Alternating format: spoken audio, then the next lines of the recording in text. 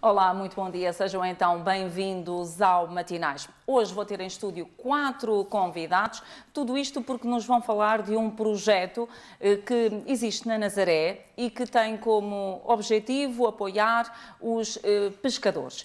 Apoiar em quê? Bom, na aquisição de medicamentos. E mais do que isto também não vou dizer, porque para isso é que estamos aqui uh, nesta conversa nos próximos minutos. Passo desde já às apresentações dos nossos uh, convidados e vou começar a fazê-lo aqui pelo meu lado direito, para que possa ir assim identificando os rostos com alguns nomes. Então, logo aqui junto a mim tenho Joaquim Zarro e é presidente da Associação de Pescadores e Armadores da Nazaré. Logo de seguida, temos então a Maria João, doutora Maria João, é diretora técnica da farmácia Silvério, que entra neste projeto que já referi de início. Logo a seguir, temos Paulo Agostinho, é comandante do Porto da Nazaré. E, por fim, o João Paulo, que é vice-presidente da Cooperativa de Utentes de Seguros mútua dos pescadores. Bom, depois já vamos perceber cada uma destas eh, entidades envolvidas neste projeto.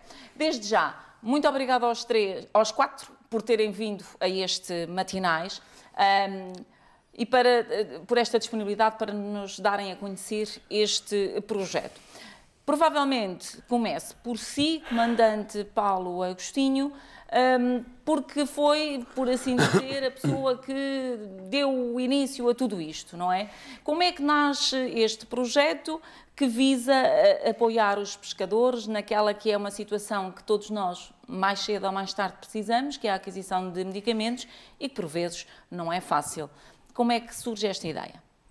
Bom, antes de mais, muito boa tarde e desde já agradeço o vosso amável convite em poder divulgar esta parceria. Eu começaria por dizer que normalmente as comunidades pescatórias caracterizam-se sempre por um quadro de dificuldade motivado por diversas variáveis, que vai desde os períodos de defesa em que não podem normalmente fazer a sua atividade de faina de pesca, outras situações como, por exemplo, as condições de agitação marítima que não lhes permite ir ao mar. Posso dizer a título de exemplo que no último ano nós tivemos com cerca de 85 dias de pelo menos aviso amarelo, que significa que estava pelo menos 4 a 5 metros de mar, o que faz com que muitas das vezes, especialmente as embarcações de pesca local, eh, não possam eh, sair para fazer o seu dia a dia, fazer e aproveitar o mar, fazendo do mar o seu modo de vida. Bom, quando falamos assim, estamos a falar de cerca de 3 meses. Nós sabemos que, de uma forma geral, os pescadores não têm uma remuneração fixa, está sempre dependente daquilo que é o tributo que advém da, da sua faina, e como tal eh, foram iniciados alguns contactos exploratórios com as entidades que estão aqui presentes, no sentido de ver o que é que se poderia fazer para ajudar quem efetivamente precisa. Nesse sentido, há que salientar a pronta disponibilidade manifestada por todos os intervenientes uh, que estão aqui em participar uh, neste projeto e dar um pequeno tributo, um pequeno contributo à comunidade pescatória que tantas agruras e tantas adversidades sofre. E nesse particular, não desfazendo dos restantes, mas uma palavra de grande apreço à doutora Maria João, porque hum, de imediato prontificou-se a prescindir um pouco daquilo que, é o, que são os seus rendimentos da farmácia, no sentido de contribuir com um desconto, não só para uh, os pescadores, mas também para todo o agregado familiar. Acho que, eu, acima de tudo, acho que é, acima de tudo, louvável e digno de realce. Portanto, um, os beneficiários, por assim dizer, eh, não serão só apenas os uh, pescadores em si, uh, mas extensível a todo o agregado familiar, é isso? descendentes, dependentes e cônjuges. Os mais próximos. doutora Maria João, o que é que a motivou um, a aceitar logo assim e abrir portas a esta iniciativa? É assim, eu quando tirei o curso hum, de Ciências Farmacêuticas, eu sempre tive o gosto de trabalhar em farmácia comunitária. Farmácia comunitária é uma farmácia aberta à comunidade e acho que hoje em dia temos que ser diferentes por alguma coisa e já que estamos muito no comércio eletrónico, no mass market, porque não também agora pronto, abrir uh, as portas a esta comunidade que precisa, não é? Que... Até porque no seu dia a dia, doutora, se calhar vai-se apercebendo que de facto hum, esta questão da aquisição dos medicamentos eh, pode ser uma dificuldade real, não é? É assim, vou-me apercebendo, porque eu estou na Nazaré, vai fazer um ano eh, que abracei o projeto da Farmácia Silvério. Portanto, para mim isto é tudo também muito novo, muito recente e, e agora aos poucos vou-me apercebendo sim dessas dificuldades. Muito bem. O Joaquim, como presidente da Associação de Pescadores e Armadores da, da Nazaré, um, também abriu os braços a esta questão porque, de facto, ela veio tocar num ponto sensível à comunidade pescatória. Sim, portanto, isto para nós é, é uma mais-valia, porque a nossa, a nossa, as pessoas que nós temos na Nazaré atualmente já estão a ficar muito envelhecidas também e qualquer um toma medicamento, seja para aquilo que for. É uma vida dura, é uma vida que traz muitos dissabores uh, e pronto, para nós foi, foi algo que caiu do céu. Neste caso, a doutora vem com essa ideia, o que nós abraçamos com as duas mãos, é claro, que aceitamos de bom agrado. O, o, comandante há pouco referenciava nas suas primeiras palavras que, eh, de facto, eh, por vezes ficam muito tempo sem ir ao mar. Sem ir ao mar eh, não significa não ter rendimento para trazer para casa. E, e nesta situação, Joaquim, o, os medicamentos ficam sempre para última circunstância ou em último caso? Acontece muitas das vezes que há muitos pescadores, eu além de ser presidente da associação, também sou armador, tenho um barco de pesca, do qual uh, eu, eu, trabalho atualmente, e vejo algumas dificuldades quando temos esse tempo todo sem ir ao mar, uh, que por vezes alguns dos colegas não vão buscar os medicamentos porque existe a falta de dinheiro, porque é muito tempo sem trabalhar. O João Paulo, como vice-presidente da Cooperativa de Utentes de Seguros Mútua dos Pescadores, o que é que vos motivou a abraçar este projeto? Bom, antes de mais agradecer a oportunidade de estarmos aqui para divulgar o projeto e divulgar um bocadinho o que são estas lógicas de parceria comunitária. Dizer que o que nos leva a abraçar este projeto é aquilo que está subjacente à gênese da criação da própria mútua dos pescadores, que nasceu há 75 anos a esta parte, para servir fundamentalmente a mais pequena pesca. E, portanto, esta lógica de atuação em parceria, em rede, é onde a Mútua dos Pescadores eh, se sente melhor e é assim que atua em todo o país, sendo uma organização de caráter nacional, com dependências abertas por todo o litoral português, enfim, incluindo as ilhas, tem esta perspectiva não só disponibilizar os seguros obrigatórios para a atividade da pesca e para outras atividades marítimas e eh, não marítimas nas comunidades ribeirinhas, tem esta vertente de intervenção social de defesa das comunidades, de contribuir para a sua coesão, porque sentimos que eh, o futuro da própria mútua e das mais diversas organizações eh, nas comunidades pescatórias dependem exatamente dessa forma de atuação eh, em parceria, em coletivo, porque, caso contrário, dada a economia neoliberal vigente, dificilmente as pequenas organizações têm condições de sobreviver no quadro atual. Muito bem. Joaquim, olhando um pouco para o quadro atual da, da pesca no, no, país e conhecendo tão bem uh, a realidade pescatória, mas acima de tudo daquilo que é a sua comunidade, uh, que retrato é que nos pode fazer uh, da comunidade pescatória da Nazaré? Envelhecida. Envelhecida. E muito envelhecida. muita falta de mão de obra. Nós, atualmente, existe muita falta pessoal para trabalhar na pesca, que nos torna mais difícil uh, nós trabalharmos e alguma falta de peixe também. Portanto, Esta questão das cotas não tem facilitado muito a vossa vida, pois não? Não, principalmente para mim e para os meus colegas, que eu trabalho no cerco, ou seja, eu tenho um barco da pesca da sardinha, dos quais é, é muito difícil. Um ano tem 12 meses e nós trabalhamos 3 ou 4, quando trabalhamos, também derivada às, às, eh, às temperaturas, uh, que atualmente está muito vento e nós não conseguimos ir ao mar. Uh, e, e, significa que uh, também esta situação das cotas, uh, além de impedir o vosso trabalho, deixa-vos mais inseguros, Joaquim? Mais inseguros, uh, ficamos sempre, porque nós antigamente, quando eu falo que eu falo antigamente, há uns anos atrás, nós pescávamos de qualquer maneira. Portanto, apanhávamos o que tínhamos a apanhar, não havia restrições de nada. Hoje em dia há restrições de tudo, temos limites para, para cumprir, tanto de pescado como horários, temos tudo. E depois o tempo também não deixa e continua sempre o mesmo limite que nós temos que apanhar. Vamos ao mar que não vamos, o limite é sempre o mesmo. Aproveitando um pouco essa sua dica, o limite agora imposto para a sardinha, eh, como é que o vê? É, é bom, é mau? Como é que é? É assim, o limite é, não é mau. Era preciso era nós apanharmos todos os dias, o que não acontece, porque infelizmente no mar, o ir ao mar não quer dizer que nós vamos apanhar peixe. É, nós gostaríamos era de trabalhar mais tempo. Os limites que estão atualmente é, até não são maus.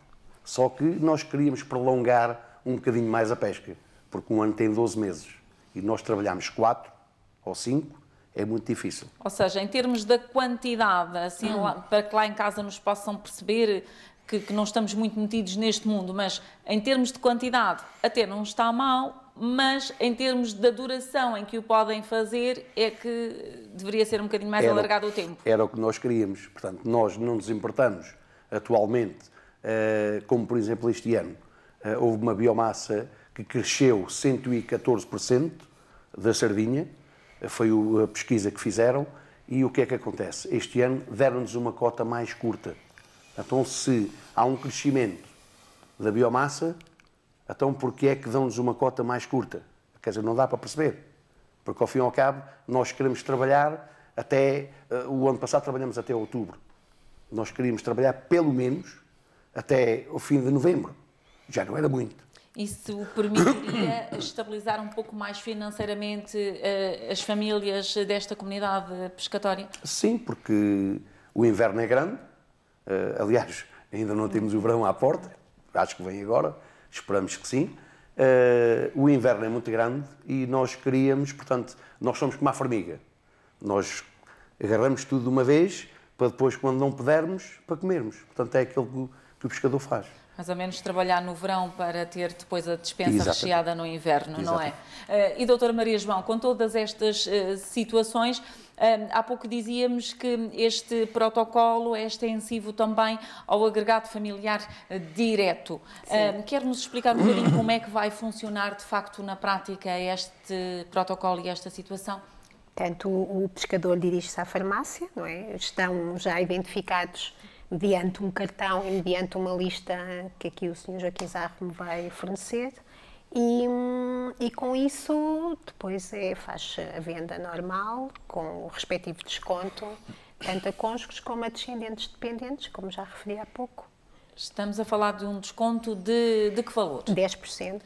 10% já é uma boa ajuda. Sim, medicamentos sujeitos à receita médica e não sujeitos à receita médica. Portanto, tudo o que de certa forma, um, assume este, esta sua participação neste protocolo quase como que uma missão, porque isso é também prescindir um pouco daquilo que são os rendimentos da, da, farmácia. Sim, ganho de outras formas, certeza. Muito bem. Há pouco, João Paulo, um, estávamos aqui, uh, quando estava a ouvir o Joaquim, estava a pensar que, sem dúvida, esta questão depois dos seguros, quando se trabalha menos tempo, também é um, importante. Um, como é que vai vivendo a comunidade pescatória nesta situação? Porque sabemos que por vezes eh, só nos lembramos de Santa Bárbara quando troveja, não é? Sim. Bom, de facto, isso é verdade. Mas sendo a mútua dos pescadores dirigida uh, maioritariamente, o seu Conselho de Administração, por pescadores, nós temos uma visão concreta daquilo que se vai passando diariamente no terreno e vamos sempre adaptando aquilo que é necessário e dando as respostas necessárias à, à realidade concreta. Uh, de facto, como diz, quando há dificuldades, tende-se a desproteger mais e, de facto, estas questões são complexas de gerir e, no fundo, uh, onde se abate de facto, todas estas dificuldades é sobre quem, quem está no terreno, os pescadores, efetivamente. Uh, a mútua dos pescadores, como já disse anteriormente, nestas lógicas de atuação coletiva, vai tentando dar as melhores respostas. Uh, não sendo a questão de fundo que vai resolver a questão da vida dos pescadores, mas estes protocolos, estas parcerias, dão uma ajuda significativa à vida diária das pessoas que mais precisam. Essa é que é a grande questão. Uh, a questão da nossa missão económica, sendo a atividade seguradora, claro que é aquilo que faz sobreviver a mútua, é daí que nós tiramos o rendimento que permite que a, a cooperativa consiga fazer, nomeadamente, a sua ação social, mas tentamos nós equilibrar as coisas porque uh, andamos aqui para dar respostas efetivas ao que as pessoas precisam e não atrás constantemente de lucro. Portanto, vamos equilibrando as coisas. Uhum. Uh, comandante Paulo Agostinho, sendo que de facto uh, este foi o momento oportuno para lançar o desafio a estes três uh, parceiros, por assim dizer, e agora começar a ver os resultados? Sim, para este tipo de parceria eu diria que o momento é sempre oportuno, não é? Mas na minha perspectiva, na perspectiva da Autoridade Marítima, um, passa por que, este, que esta parceria sirva essencialmente de exemplo, eventualmente a outras entidades que também têm capacidade e que podem contribuir, em especial com a comunidade pescatória, que é este o caso que nós estamos a tratar, e que daí advenha uma melhoria significativa de, de vida daqueles que fazem de facto do mar o seu modo de vida e que vivem, tal como já foi aqui mencionado, sempre num clima de alguma insegurança, baseado na, sempre na incerteza devido a vários uh, fatores que, acima de tudo, que eles próprios nunca os podem controlar, como é o, o caso das cotas, o caso de, do estado da agitação marítima, etc. Em termos daquilo que é eh, a realidade da, da comunidade pescatória, as dificuldades eh, económicas podem ser de facto patentes, Joaquim, mas uh, temos uh, muita gente ainda envolvida na, na, pesca. Sei lá, se podemos contabilizar isto, vocês têm isto contabilizado. Quantos homens temos da Nazaré envolvidos no mar? Bom, exatamente quantos temos, não sei ao certo, mas ainda temos alguns. só, como já disse, infelizmente, muitos... Faltam os novos, não é? Exatamente. Porquê que o pessoal novo não quer ir para o mar? É assim, não quer ir ao mar porque não é rentável. Atualmente não é rentável. Não é uma profissão que a gente possa dizer que vamos comprar um Mercedes, vamos comprar isto, vamos comprar aquilo. Nada disso. Não é para enriquecer? Não, não. não. Uh, aliás, se nós conseguimos ganhar para comer, já é muito bom. Eu posso, posso adiantar que possivelmente o pescador mais novo uh, atualmente na Nazaré, possivelmente é o meu filho. E isso quer dizer quantos anos? Pronto, o filho não vai tem, ficar chateado. Não, tem 18 anos, uh, nacionalidade inglesa ainda por cima, uh, e deve ser um dos mais novos que atualmente tem gosto na pesca. E, portanto, fica difícil também. E, e, Estava eu a pensar enquanto falava. Ora, se as pessoas estão mais, eh, dizia há pouco, envelhecida, uma comunidade envelhecida, uh, isto podemos correr um risco, se calhar o que se passa na Nazaré não é, só, é também um retrato do resto do país, digo eu, não é? É o mesmo. Podemos correr o risco que um dia a arte da pesca pode começar a morrer no nosso país? Desaparecer. Desaparecer. Desaparece. Sim, porque não existe perspectivas nenhumas melhores, uh, não, não existe e incentivar a malta jovem, uh, portanto, ir para o mar e, portanto, não vejo melhorias, não vejo nenhumas, infelizmente. Uh, isto não é estranho, João Paulo, num país que fomos conquistadores uh, por mares dantes navegados, não é? E agora estamos assim um bocadinho ao lado? Claro que sim. Para nós é fácil chegar a essa conclusão até tendo em vista os índices de consumo de pescado dos portugueses, em média cerca de 57 kg por pessoa ao ano, eh, determina que tenhamos forçosamente que ter uma frota ativa com pescadores bem formados e competentes para poder equilibrar efetivamente aquilo que é o déficit da balança comercial atualmente, que está praticamente a bater os 800 milhões de euros negativos. Não é? E, portanto, continuamos a endividar o país para importar, nomeadamente produtos da pesca, para abastecer e para satisfazer os índices de consumo de pescado dos portugueses. Portanto, isso é tudo muito estranho e, e quando consideramos que cada emprego criado na pesca se podem criar por arrastamento mais três ou quatro em terra, na construção naval, na indústria transformadora, enfim, eh, nós podemos ter aqui a percepção real de, do que é que tudo isto pode envolver e pode criar em termos de riqueza para o país, que está a ser progressivamente alienado e que, de facto, estruturas como a mútua dos pescadores, achamos isso profundamente negativo para o país e para aquilo que poderia ser efetivamente o setor das pescas, apesar de todas as limitações que temos ao nível da plataforma continental, que é demasiadamente curta, enfim, uma série de questões que poderíamos, numa outra altura, eventualmente, se houver interesse, aprofundar. Aprofundar, porque de facto uh, deveria-se de investir muito mais uh, no mar, nesta preciosidade que nós temos e que tem ficado um pouco uh, esquecido. estamos quase para terminar a nossa conversa. Só tentar aqui perceber, têm a ideia, há pouco falava de uma lista, não sei se já têm uma ideia de quantas pessoas é que este projeto, este protocolo, por assim dizer, poderá abranger. Uh, a doutora dizia que o Joaquim é que tem que entregar a lista, não sei se já tem é assim, já, nós, está, nós já estamos. Já está, já, já está, em preparação. Já está atualização. Uh, só que existem mais, aquilo também não é fácil, né? visto que eu não estou só à frente da associação, uh, como já disse, tenho um barco de pesca.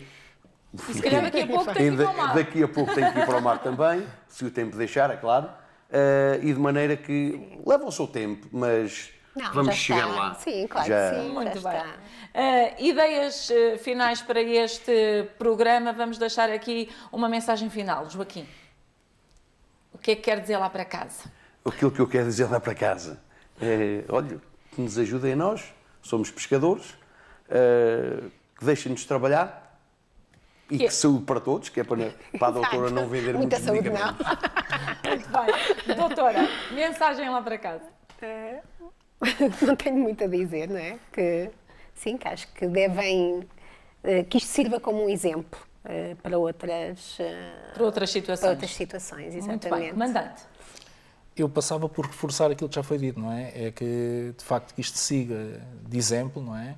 e que outras entidades que eventualmente também têm possibilidade de colaborar com esta comunidade pescatória que, tanta, que tanto precisa e que é sabejamente consabido que experimenta imensas dificuldades, que o possam fazer também com o respectivo apoio. Muito bem. E João Paulo? Bom, aquilo que eu queria apelar lá para casa era porque, de facto, os problemas que a comunidade da Nazaré sente são transversais a qualquer outra comunidade pescatória e que as organizações no terreno devem ter esta boa vontade em se organizar e se unir para dar as respostas que as comunidades necessitam. Basicamente é isso. Muito bem. Muito obrigada aos quatro por terem vindo. É assim que chegamos então ao final desta conversa matinais bem descontraída, mas a falar de assunto sério é este, estas parcerias que vão surgindo assim espontaneamente e desta feita em benefício dos eh, pescadores, da comunidade pescatória da Nazaré. Envolve então a farmácia Silvério, todos os outros. O objetivo é apoiar quem precisa na hora em que precisa. Até amanhã e fique bem. Estamos em sua casa, estamos no seu coração. Somos Ângelos TV, a televisão católica portuguesa.